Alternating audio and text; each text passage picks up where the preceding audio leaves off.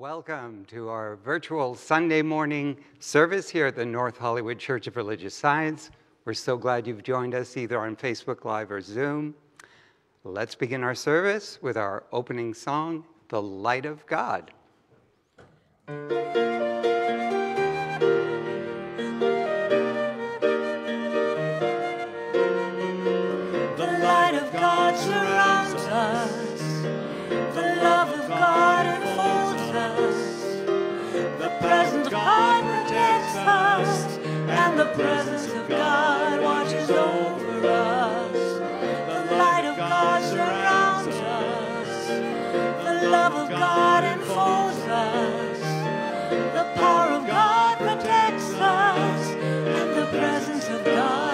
Watches over us. The light of God surrounds us. The love of God enfolds us. The power of God protects us. And the presence of God watches over us.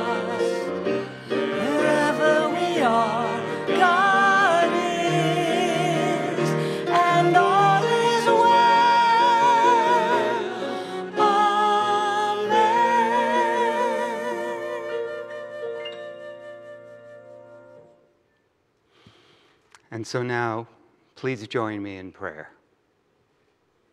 As we turn our attention inward, feeling that light, that love, that power of the one life, that one ultimate presence that is God, that pure goodness out of which all creation is created and that lives and moves and expresses through all that is, including each of us gathered for this service this morning. I absolutely know that God is unfolding throughout our time together. We each feel that impulse of God for that greater knowingness, that greater experience and expression of its nature. And I know that every part of this service supports that intention. That we awaken to that love of God as we feel that connection that we all share in this one life. I know that we feel the vibration of love through each and every person that is of service today. I know we are uplifted by God unfolding through our music ministry, through Sam, Karen, Reverend Karen, our soloist, and Mary as she leads us in our chants. And I absolutely know that the perfect word, the perfect message of the divine is spoken this morning through Dr. Mark. That everything that he shares with us is exactly what we needed to hear today to awaken to that goodness, that wholeness, that lovingness at the center of our being, and to experience and express it more fully. And so I give thanks right in this moment for all the blessings that I know we receive during our time together. Knowing it's all God revealing itself, I say, Thank you, God. And I release this word knowing it's already done. This service is blessed. And so it is. And together we say, Amen.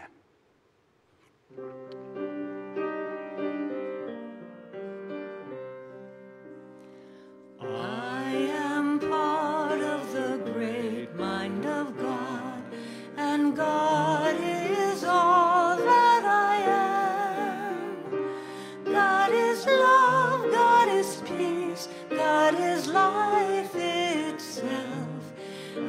God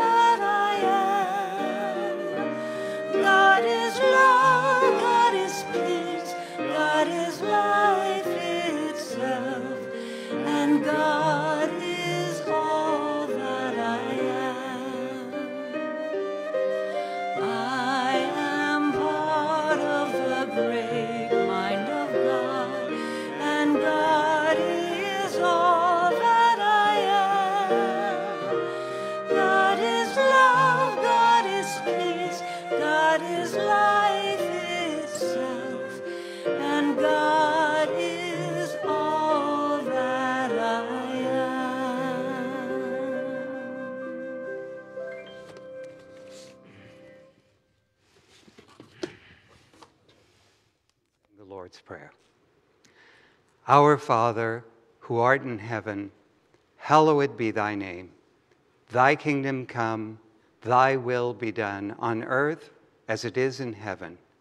Give us this day our daily bread, and forgive us our trespasses as we forgive those who trespass against us. And lead us not into temptation, but deliver us from evil. For thine is the kingdom and the power and the glory forever.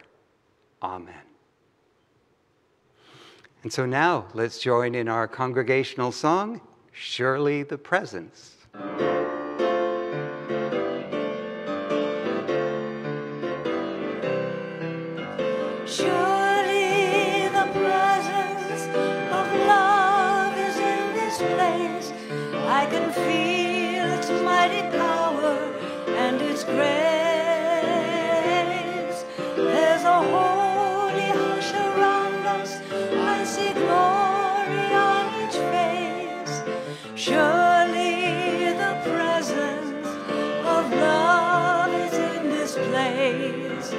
Surely the presence of peace is in this place. I can feel its mighty power and its grace.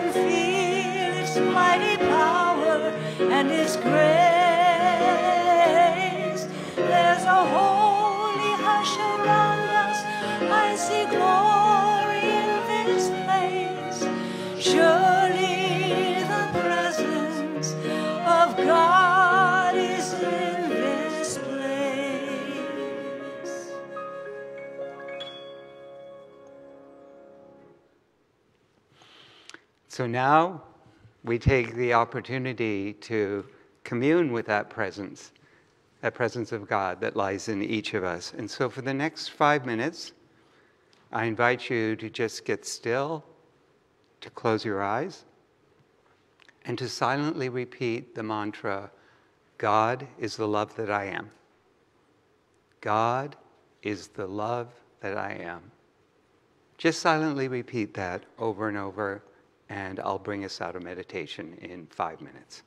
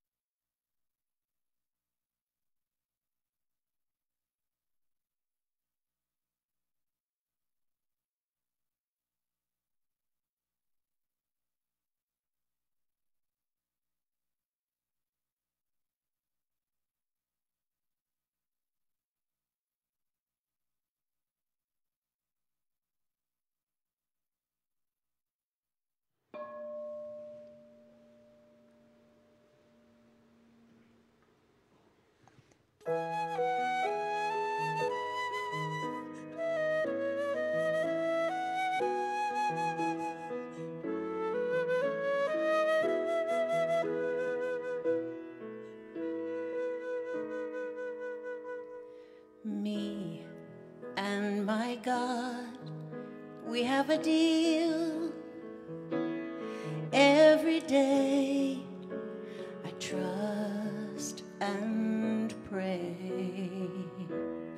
I will recognize the way to my soul.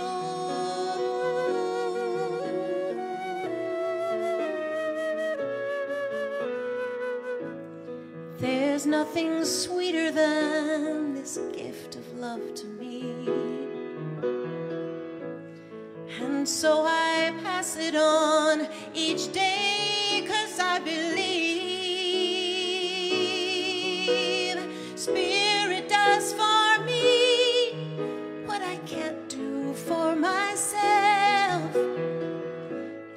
Everything is possible with God.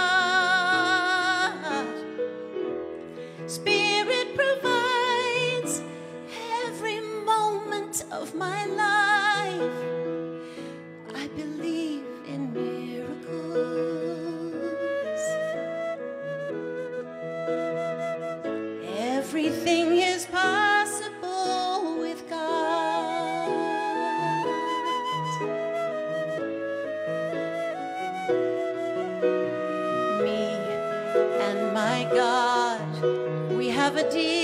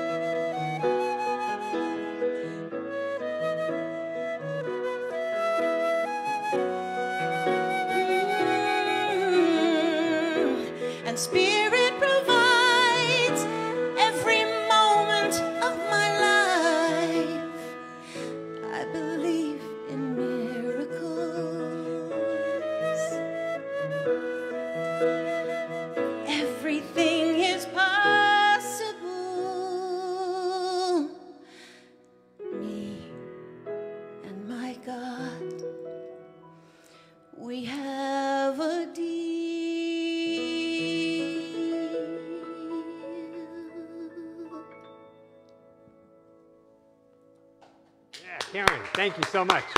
Beautiful, Reverend Karen. Thank you, thank you, thank you.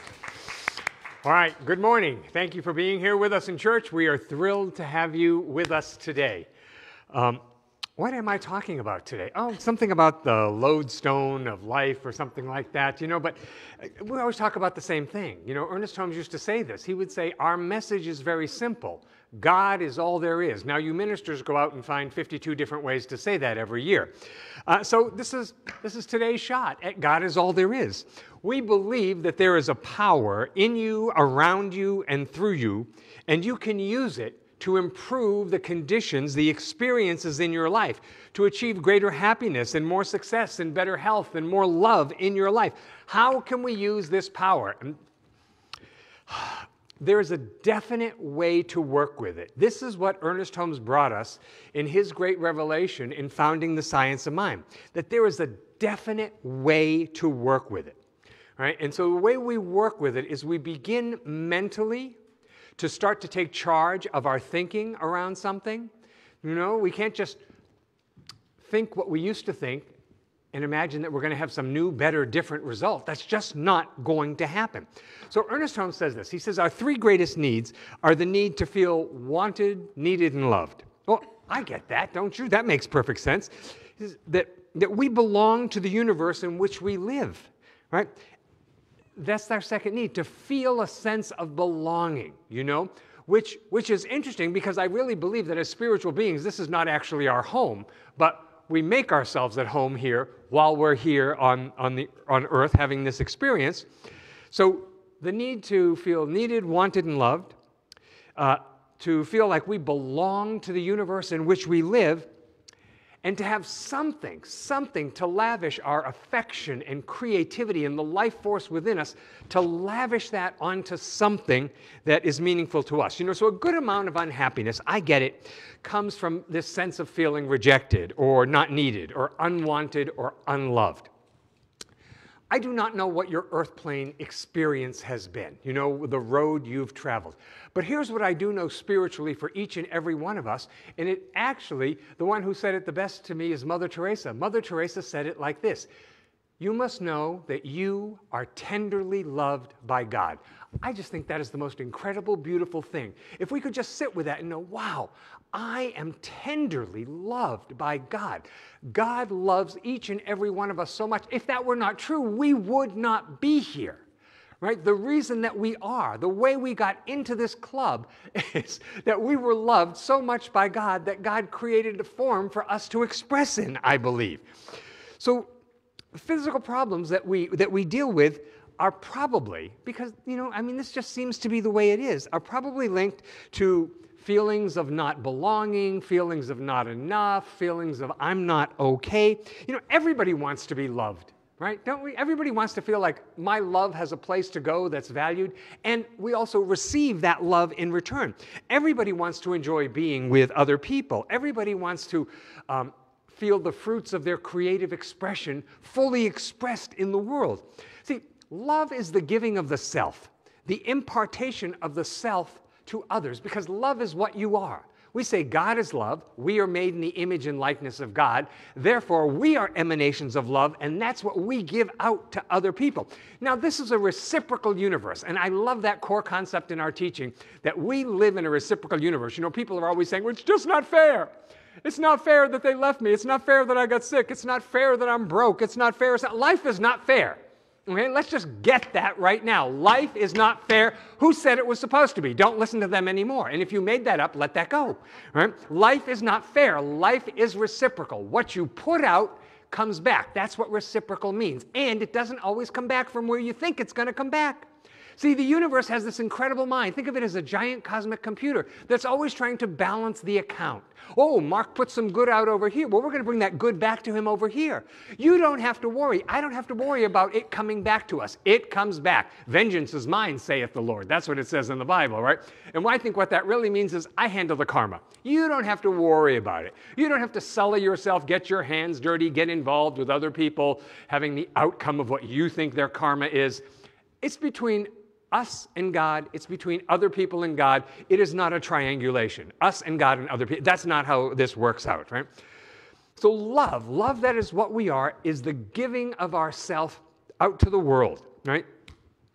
I think that if we don't have this, this love component, that life seems kind of drab, seems kind of meaningless, doesn't it? We wonder, why am I here? What am I doing here?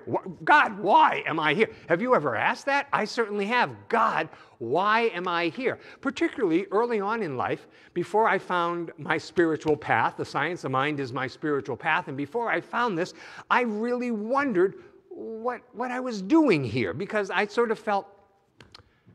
Now, younger people will not remember this, but long ago, in a faraway galaxy, we used to play pinball. Yeah. And, and you know, and pinball was a, was a game that were in arcades and bars and places like that. And you know, you, you shoot this little silver ball would go up, and, and there were these paddles at the bottom, and you kept flicking the paddles.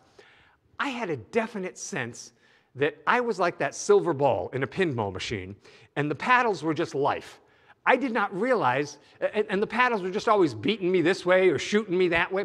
I did not realize that I had everything to do with what the paddles were giving to me, with what life was giving to me.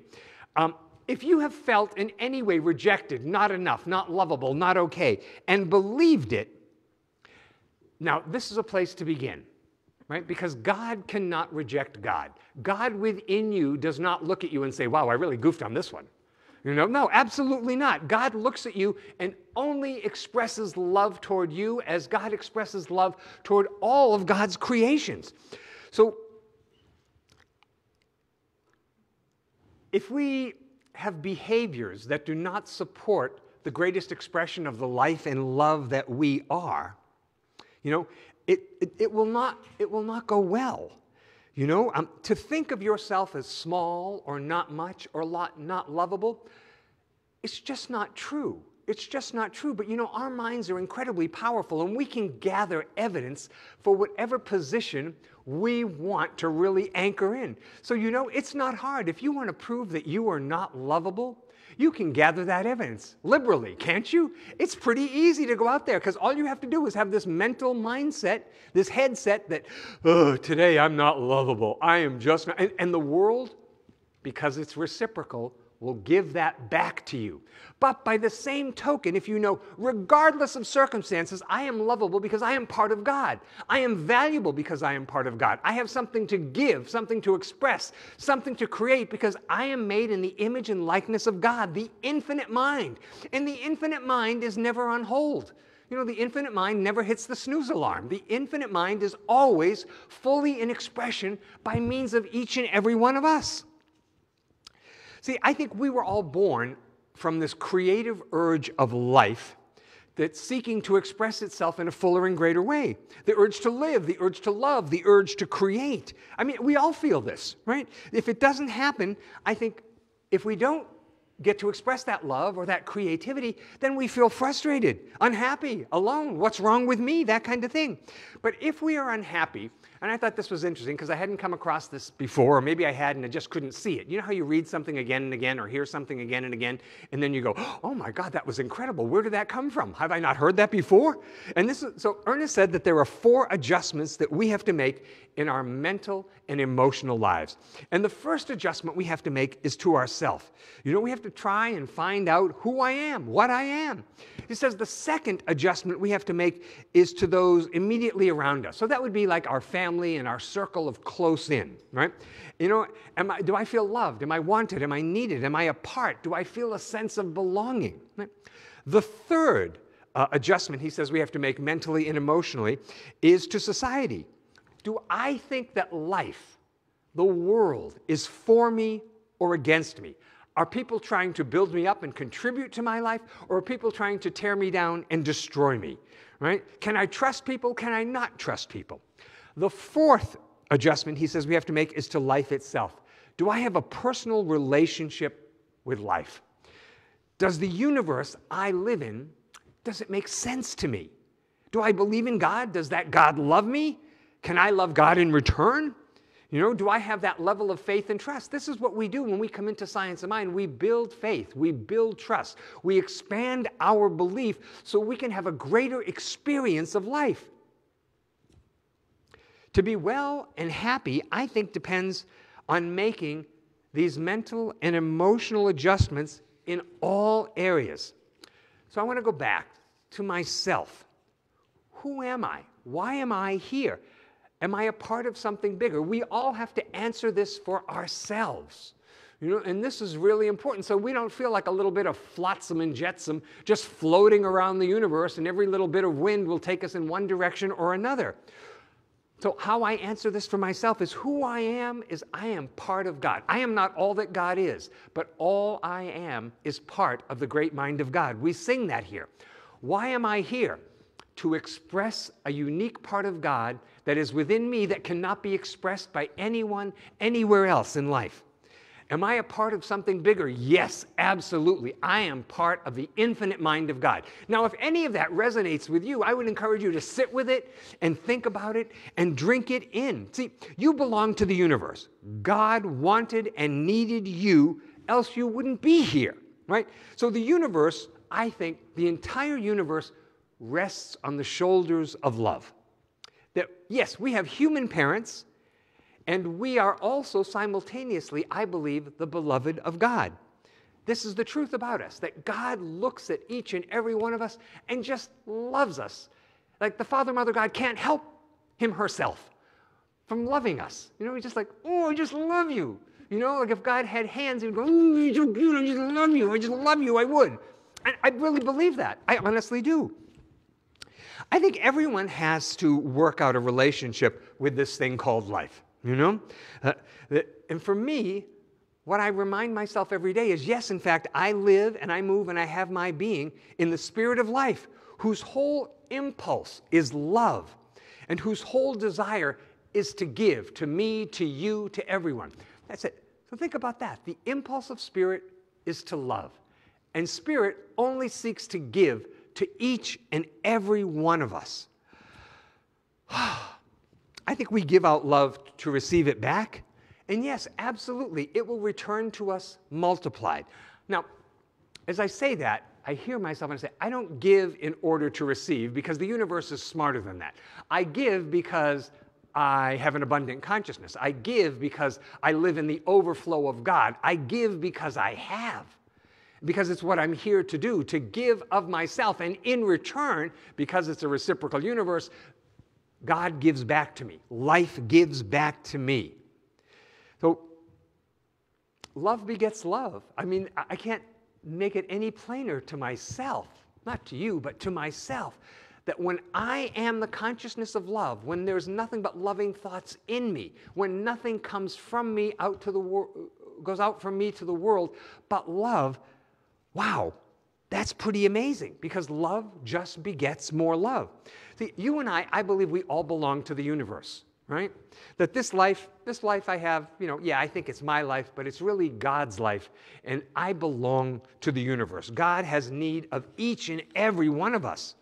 See, and I think the more we allow ourselves to be used as a vehicle for love, for Spirit's expression in the world, this makes us more confident. This makes us more self reliant. Jesus said, As I have loved you, as I have loved you, love one another. I think people think this lovey stuff is going to make them weak. It's going to make them ineffective. It's going to make them kind of wimpy in the world. Jesus wasn't weak. He did miraculous things. He fed the multitude. He healed people. He brought people back from the dead. He resurrected himself. Does that sound like a weak person to you? Say, oh, he was so weak, he resurrected from the dead. Oh, he was so weak. He fed them all. No, of course not. This is somebody who is in touch with the principal power and presence that created the entire universe. We use the power through affirmative prayer. See, this was Ernest Holmes' great gift to the New Thought. Uh, body was that he gave us a method to pray in the affirmative, where we say, Yes, there are doubts, yes, there are fears, but those are not the truth. So I acknowledge, I, I acknowledge uh, that there is something that I must deny. Okay? Those doubts I have, I deny them. Those fears I have, they have no power over me, and I affirm a greater spiritual truth. The truth is that I am one with God. I am one with love. I am one with health, with wholeness. We become aware of the presence of God in and around us the more we stay immersed in spiritual truth, right? This is why you know, you can't just pray for a minute or two in the morning and think that that's going to have a big effect on your day. I think it's better than not praying, absolutely. It's better than not praying at all. But we want to have the consciousness of God that that presence is with us all day long, everywhere we go. So I'm riding on the 405 and the presence of God is with me. How would I be if I really knew the presence of God was with me? Would I be acting like a butthead or a farm animal in my car, impatient with traffic, if I knew the presence of God was right here? I don't think I would. I really don't. If I knew the presence of God was with me when I am standing in an extraordinarily long line at Ralph's, and, and for some reason I feel like huffing and puffing under my mask is going to move things along quicker, I realize, you know, I just need to know that the presence of God is right here and everything is in perfect order. There is a divine timing to things. If I stand in this line one minute or two minutes longer, I'm just going to trust that this is where God needs me to be. Maybe I'm supposed to put a little more love into the market. Maybe I'm supposed to put a little more love to the people in front of me in line. Uh, well, that's always the case because, you know, I have this thing about impatience. It's my special gift. it's, in fact, you know, impatience is kind of my superpower if I had one. And, and then I get really impatient with other in front of me, whether it's on the freeway or the grocery store, the bank, the Trader Joe's walking my dog. It's everywhere. It's everywhere. It's, it's, it's clearly a huge lesson for me in life this idea of like learning to surrender and just allow. See, because when I surrender and allow, I find, wow, I, I really can be patient. When we have the experience of loving another, when we love our brothers and sisters, it seems to me that, that um, it's tangible, the feeling of God dwelling within me. Uh, and I think it most, it's most tangible when we're really in it, when we're really in that place of, I'm only here to love this other person. I'm only here to give them good vibes and good feelings and encouragement and support and tell them I believe in them. I believe that right there, God is dwelling within us. And that's absolutely real. So, what we do as students of the science of mind is that we affirm God's perfect healing presence right here where we are right now, no matter what's going on outside. Because the truth is, that healing presence that's within us has nothing to do with what's going on outside. That healing presence is operating fully, or as we used to say in the 70s and the early 80s, full tilt boogie. It's operating within us all the time. It's, you know, regardless of whether I'm conscious of it or not. But if I'm conscious of it, it has the capacity to express in an even greater way. So this morning, I thought we'd do a little uh, piece of inner work together before we go into the treatment. You know, Ernest teaches us that before we can have any demonstration, we have to have both a conscious and a subjective agreement right? So, not just the thoughts I'm thinking up here with this mind that's always going blah, blah, blah, blah, blah, but also, he says, our subjective is the seat of memory. Everything that's ever been said, everything we've ever said, what's been said to us, everything that's ever been done to us, everything that we've ever done. Everything in this life is stored in our subjective mind. Hmm? And so I want my conscious mind and my subjective mind to be in agreement. Certainly, my conscious mind says, I want to be healthy, I want to be happy, I want to have love, I want to have money, I want to have all these good things in life. But then what's going on in my subjective mind? Because my subjective mind says, Oh, you want love? Well, remember the last time that didn't work out so well for you, did it? You know? Oh, money, remember the last time you had some money? You blew it, didn't you? You weren't very good with money. You know, our subjective mind so often contradicts what our conscious mind is saying. So we want to have an agreement between the two. And when there's an agreement between our conscious mind and our subjective mind, then we can have demonstration. So turn your attention in, inward with me for a moment now. As we affirm God's perfect presence here and now, I believe that God, the energy that created the entire universe out of itself, is an energy of love. And love is at the center of each and every one of us, and love is at the center of each and everything. And so I invite you to join with me now and accept this healing power into your life, even if you don't believe it. Even if you don't believe in it, just on the odd chance that God is. Join with us and say, Yeah, for now, for this morning, I will accept that love is the healing power in my life. And so just drink in the love of God right now. Allow it to fill your being, allow it to illuminate every cell in your body temple. and highlight every good and perfect thought within. So, in this awareness, I permit the love of Spirit to reach out from within me to touch everyone, every person I meet. I speak this word that we are here trusting the guidance of love because we believe that it is, in fact, the power of God in our universe. So, as I say this for myself, claim it for yourself as well. I feel love is flowing out through me to every situation, every situation I meet, to help every person I contact. And every thought I think infuses the world that we live in with more love. Love opens the door before me, makes perfect and plain and glad my way. The love of God within us right now forgives everyone and everything. This love purifies everything. It converts everything commonplace and raises it up. It makes weakness strength and turns our fear into greater faith. Love is the all conquering power of spirit. It's the truth about us. We are one with it. It could not be any other way. And so I walk in confidence in this life. I place my trust in the love which I feel to be ever present within, around, and through me, and within, around, and through all people. Today, I place my trust in love, and I let this love emanate out from me to bless all synagogues, temples, mosques, ashrams, churches, all paths to God. And again, I affirm that we are blessed by being together today that there is a healing happening spiritually, mentally, emotionally, and physically for each and every one of us. And we say yes to it. So, with an open, gracious, full heart, I give thanks that this is the truth. I release this word into God's perfect law, and so it is. Together we all say, Amen. All right, we'll sing one time together.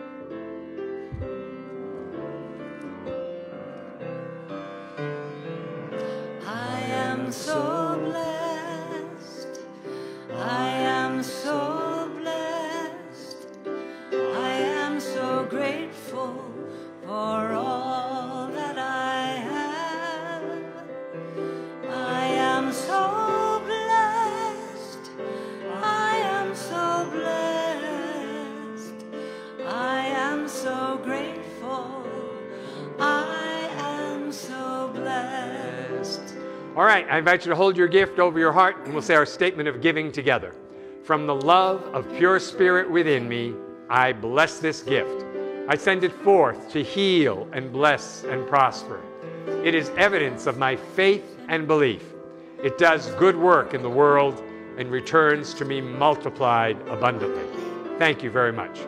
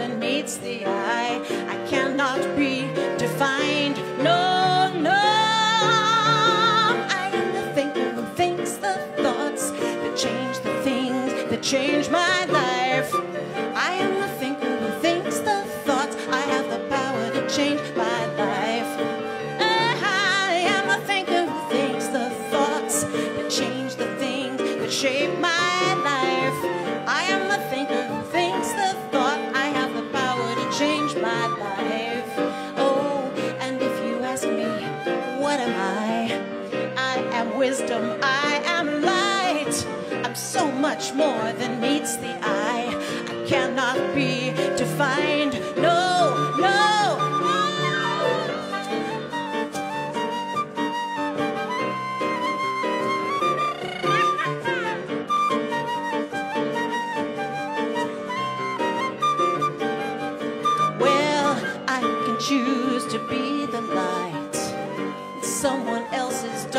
Darkest night. I'm so much more than meets the eye. I cannot be defined. No.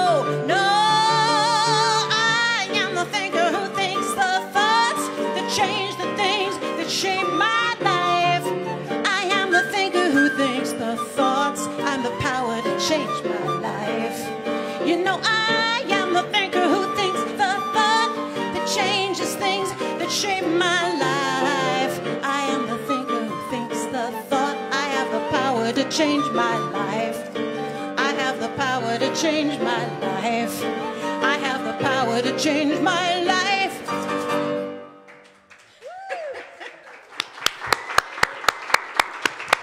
Amen. Reverend Karen Mitchell, thank you so much. So you can get Reverend Karen's music at karenmitchellmusic.com to change your life. thank you also to our wonderful musicians, Sam Krieger, Karen Smith, and Mary Highland leading us in our chants today. So, a couple of announcements. Um, if you missed your opportunity to make a donation earlier, don't worry. We make it easy for you to do so. You can call the church right after service. We'll be here for about 30 minutes to take your donations over the phone. That's 818 762 7566. Or you can go to our website, nhcrs.org forward slash give.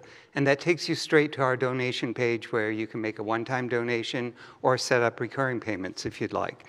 And you also have the option of texting the word give to area code 818 457 3419. And of course, we know some of you like to continue to mail in your checks. However, you find ways to support us. Thank you, thank you, thank you. Over and over again. We're so grateful.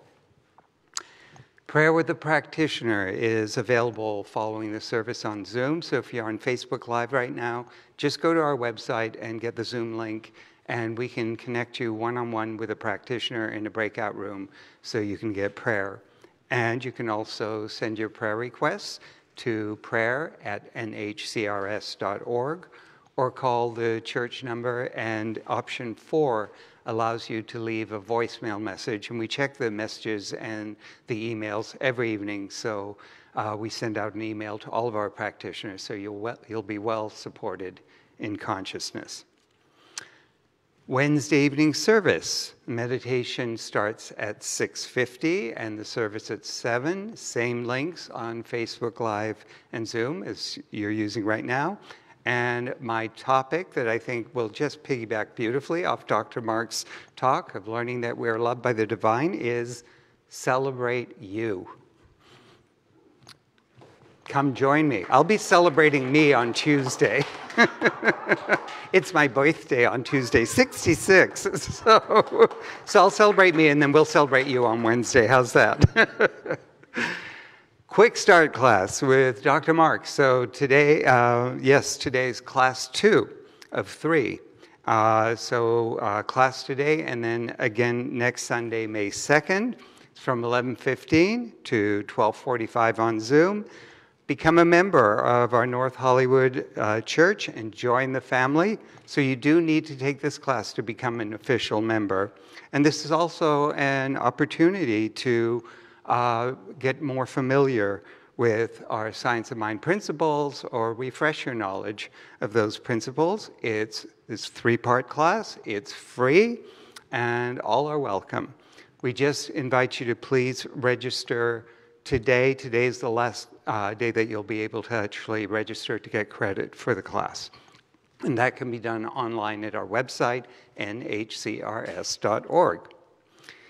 Our grief support group, I know there are a lot of people that are dealing with grief on many levels right now. So we do have this wonderful group led by practitioner Carol Winokur, who really does a masterful job of leading grief support. And that's today, 1 p.m. on Zoom. We're offering a new class here at North Hollywood. It's called The Creative Life. It's facilitated by our very creative and just overall wonderful Reverend Sidney Lehman Steen.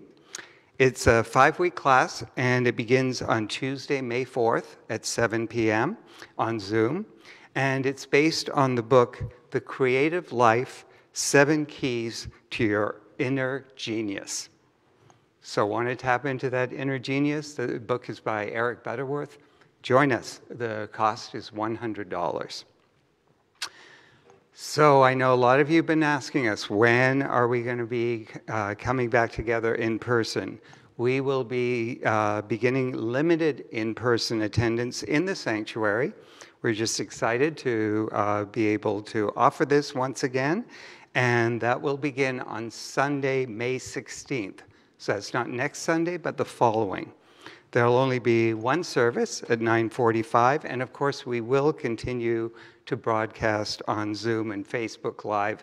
We have no intention of letting that go away at any time. So, uh, but if you'd like to be here in person, you can make your reservation online uh, starting next Sunday, May 9th. And the Wednesday evening service will continue to be offered on Zoom and Facebook Live only until further notice. Um, and before we wrap it up, I just have to say a special word of, we're saying celebrate you. Let's all cheer on uh, practitioner Liz Raci's husband, Paul Raci, who is nominated in the Best Performance by a Supporting Actor category uh, this evening. So, yay, Paul.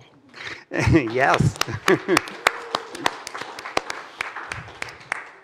and our Zoom virtual patio before and after our Sunday and Wednesday evening service. Uh, you can join with congregants before and after service to just continue to have that connection until we're all back together live. And uh, our men's group meets every Sunday from 11 to 11:30 on Zoom, and all men are welcome. And we continue to have our morning meditation on Zoom from 8 to 8:15 a.m. Monday through Saturday. So lots going on here. Can't remember how to get to those websites? Go to nhcrs.org and you can get the links to all the Zoom activities and Facebook Live as well. So with that, let's join together in singing the peace song.